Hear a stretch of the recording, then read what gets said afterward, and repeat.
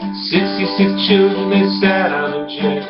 52 women flew and relaxed. The U.S. Navy fired its guns. The passengers screamed, the airplane blew up.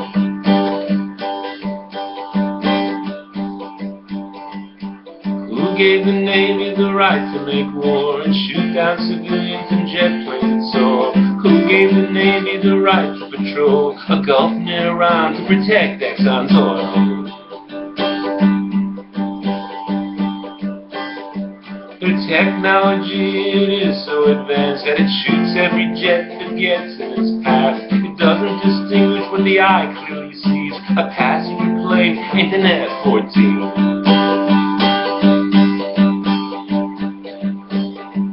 300 civilians slaughtered like lambs by Pentagon butchers under Reagan's command. Lusitania, they sank a world war that expand to kill passengers as part of their plan.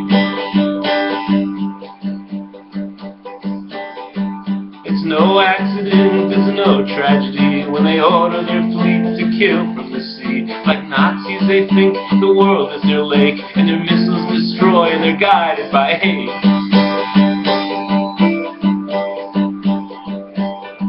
Yes, 66 children sat on a jet, 52 women flew and relaxed. The U.S. Navy fired its guns, the passengers screamed, the airplane blew up.